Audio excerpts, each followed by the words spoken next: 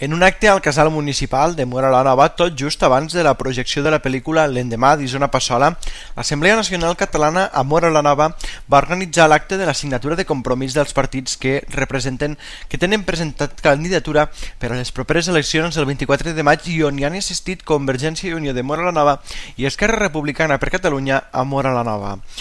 Les dues candidatures i els representants d'aquestes han signat el compromís alguns dels compromisos que estableix el document són promoure campanyes perquè les eleccions del 27 de setembre tingui caràcter plebiscitari i en cas que es confrongui, que es configuri una majoria independentista posar l'Ajuntament a disposició del govern català i proposar l'adhesió de l'Ajuntament de l'Associació de Municipis per la Independència. Altres compromisos són proposar a l'alcalde o alcaldessa que participi a l'assemblea de caràcters electes que es constituirà en cas que les institucions espanyoles suprimissin les institucions catalanes d'autogovern i l'elecció com a alcalde o alcaldessa d'una de les llistes que incloguin aquests punts. Roger Font, Ribera Ebre, Televisió, Mora la Nova.